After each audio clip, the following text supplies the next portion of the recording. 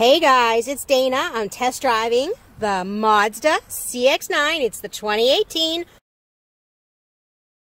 fully loaded and I've been giving it a good whirl as we did a few college visits this week.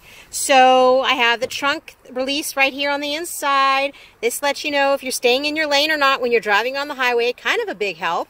Um, I like the steering wheel feature. It's, it's telescopic, it's manual, not automatic. So you release a lever and it goes up, it goes down, it comes in, it comes out, hence telescopic, duh, I guess, right? And then if you'll note, everything you need is right at your fingertips. It's like being in a captain's seat. You can handle the radio, your phone calls. You can do your cruise control from here. Set it on, set it off. Windshield wipers front and back windshield wiper control. Did I mention auto high beam?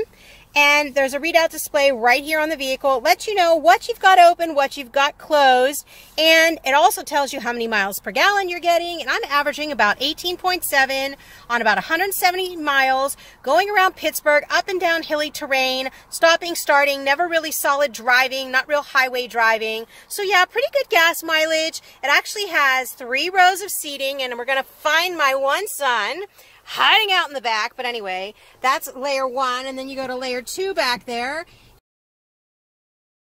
And it also has cargo space.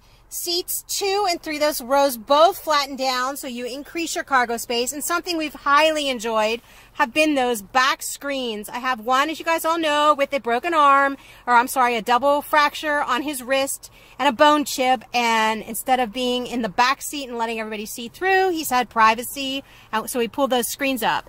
I have the moonroof, sunroof, whatever you'd like to call it. This part is pull and manual, but then of course the window itself is automatic by touching. And if you don't want it to do that, you can actually um, also just pivot it so it's open just a tad to get some air. I've done both configurations. Look, we finally are seeing a blue sky in Pittsburgh. Hey, what's that about, right?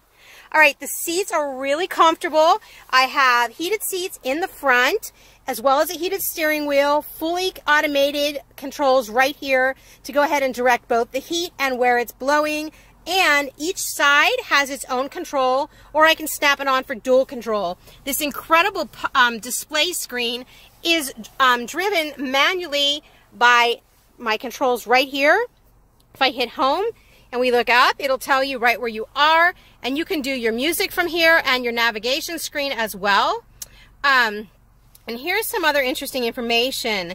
This is touch screen. So if I go here and touch, I'm actually getting the controls right on the screen and you can touch and move through as you want to, which was nice whenever I'm programming where we are and driving. I actually have to be stopped to do that in full stop.